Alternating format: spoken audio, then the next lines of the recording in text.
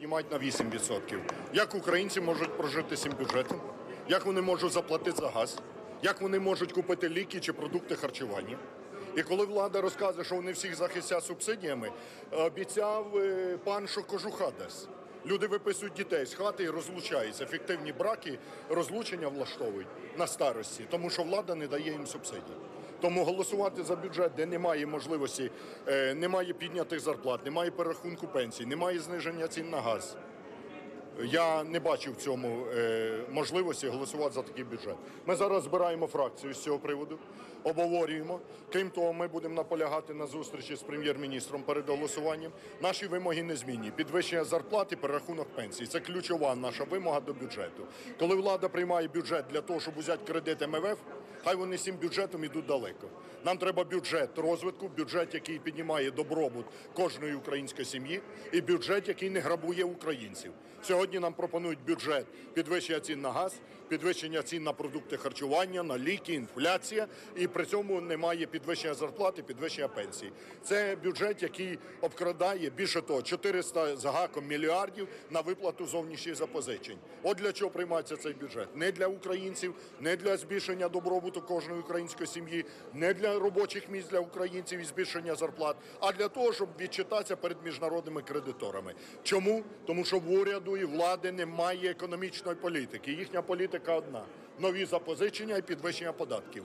Бо коли ви питаєте за бюджет, ви забуваєте ще про одне надзвичайно важливе голосування. Під бюджет приймаються зміни до податкового кодексу, де піднімаються податки на заробітну плату, екологічний податок, рентний податок і усі інші. Як можна в нинішніх економічних умовах, коли е, дорогі ціни на газ? Коли величезні вартість вантажних перевезень залізницею. Як можна піднімати податки? Все це веде до закриття підприємств, до скорочення робочих місць, і більше людей буде безробітних через таку політику влади. Тому ми не будемо голосувати за збільшення податків. Ми не будемо голосувати за бюджет, якщо там не буде підвищення зарплат і перерахунок пенсій для мільйонів українських громадян. Це не закладено не закладено підвищення зарплат пенсій. Закладене, проте не значне. Там зарплати підвищуються до 4 тисяч 100. Ми вважаємо- до, до якого Ми вважаємо, що це не підвищення. Тому що я ще раз кажу, зарплати піднімають з нового року на 15%, а ціну на газ 1 листопада підняли на 25%. Тобто підвищення зарплат менше, ніж підняття цін на газ. І нам хтось розказує, що це підвищення. Навпаки, в людей ще більше забрали. Залізли до кожного в кишеню і забрали.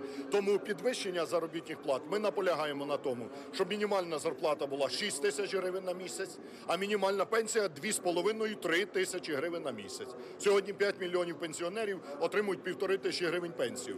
Е, Підвищення цін на газ тягне за собою зростання вартості продуктів харчування, дитячого харчування, зростання вартості комунальних послуг, вартості проїзду всього на світі, інфляція внаслідок підвищення цін на газ. І оті копійчані підвищення, які передбачено в бюджеті, збільшення зарплат і пенсій, з'їсть інфляція, з'їсть ціни.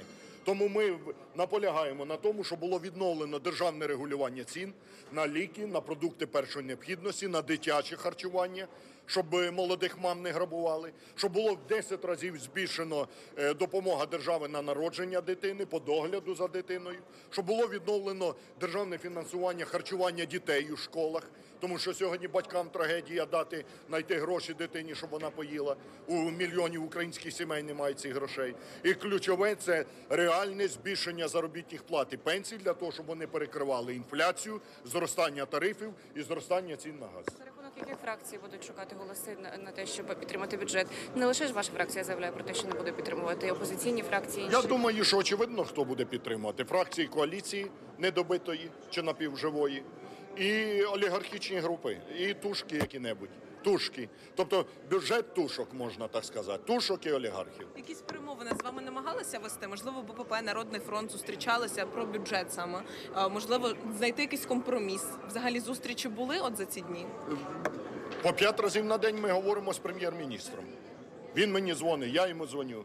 І в нас е, нормальний робочий контакт налагоджений. Але він мені про своє говорить, що йому треба бюджет, бо йому кредит треба взяти. А, йому кажу, а я йому кажу про своє, Володя. А мені треба бюджет, щоб людям підняти зарплати і пенсії. От піднімай зарплати пенсії, ми підтримаємо бюджет. Не піднімеш зарплати пенсії, ми не підтримаємо бюджет. Він каже, в мене нема грошей. Кажу, поїдь е, в Ренів порт в Одесу і подивися, скільки там везуть контрабанди. Чи на будь-яку митницю. На мільярди везуть контрабанду. Он тобі гроші.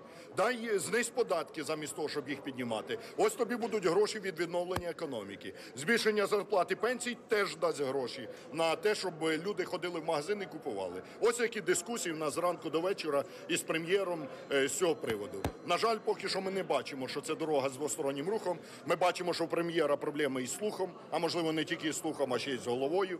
Я не знаю. Тому що як можна за цих умов не піднімати зарплати пенсії людям?